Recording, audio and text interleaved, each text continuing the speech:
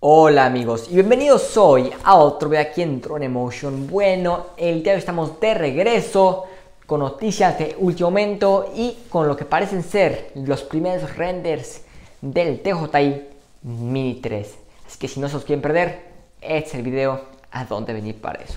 Pero antes que empecemos con el video del día de hoy, si ustedes son aquí en el canal, sean bienvenidos. Y si quieren estar al tanto de cualquier próximo lanzamiento de DJI, ya sea el Air 3, el Inspire 3 y por supuesto el Mini 3, ustedes ya saben que este es el lugar indicado donde venir para toda esa información.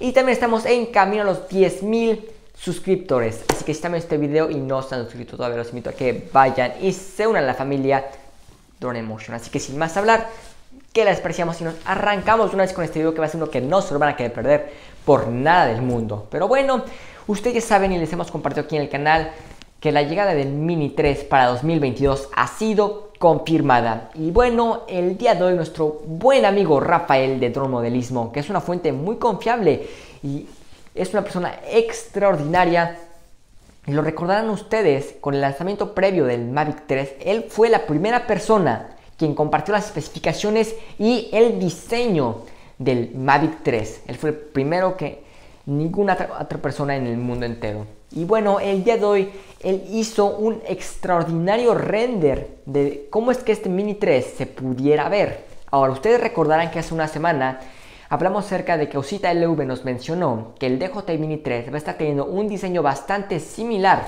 a lo que vemos en el Mavic 3. Y bueno, nuestro buen amigo Rafael lo que hizo es que hizo una combinación en Photoshop y nos dio un resultado increíble. Por supuesto, si quieren ir a ver su canal, les voy a dejar un link abajo en la descripción. Pero bueno, vayamos, tomamos un vistazo a este render que le ha hecho. Cabe recalcar que no son imágenes oficiales filtradas, no, simplemente es un render. Así que vayamos y tomamos un vistazo.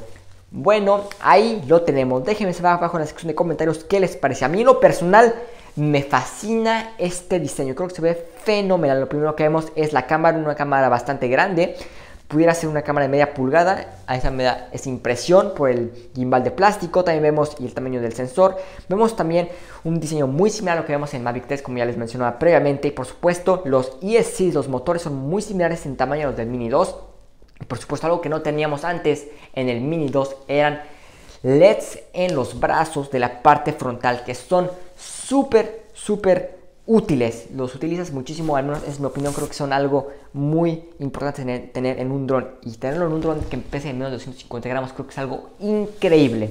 Y vemos también esa luz RGB en la parte frontal, ese LED que ya tenemos en el Mini 2 y por supuesto tenemos nuestro LED auxiliar en la parte de abajo, tal y como lo vemos en el Hobson Sino Mini Pro que esperemos y DJI lo agregue al Mini 3 y por supuesto los sensores frontales que sabemos que van a estar llegando al Mini 3, de eso no hay duda alguna. DJI los va a implementar sí o sí como de lugar, eso no que, de eso no hay que preocuparnos en absoluto. Pero déjenme abajo en la sección de comentarios qué les parece este diseño. A mí lo personal creo que se ve muy bien, tiene una pinta extraordinaria y creo que sin duda alguna es una muy buena evolución de lo que era el Mini 2, que a mí lo personal me gustaba ya bastante y se vuela bastante, así que no puedo imaginar cómo es que este Mini 3 se va va a estar volando.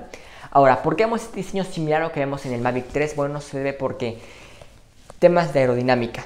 Y es por eso que en el Mavic 3 tenemos un tiempo de vuelo tan mejorado de lo que era el Mavic 2. Y es porque con este diseño que se parece bastante a lo del Inspire 2, esta aerodinámica permite que el dron pueda estar más tiempo volando en el aire. Así que yo creo que es probable que vayamos a un tiempo de vuelo de entre 36 a 38 minutos muy probablemente creo que eh, ese va a estar en el rango de vuelo que vamos a tener con este Mini 3 y creo que va a ser más que suficiente y en mi opinión eso a mí me haría una persona súper feliz y creo que es más que suficiente para la mayoría de los pilotos allá afuera. Pero bueno, es el render que tenemos el día de hoy. Creo que nuestro amigo Rafael hizo un trabajo muy bueno. Y no puedo esperar por conocer más detalles del Mini 3. Saben que cuando tengamos nuevas noticias, aquí les van a estar teniendo primero antes que en ningún otro lugar. Así que no olviden suscribirse y prender esa campanita para que no se pierdan de toda esa información que se viene aquí muy pronto al canal. Pero bueno, con esto vamos a concluir el video del día de hoy. Muchas gracias por vernos y nos vemos el día mañana con otro video. Drone Emotion, hasta la vista.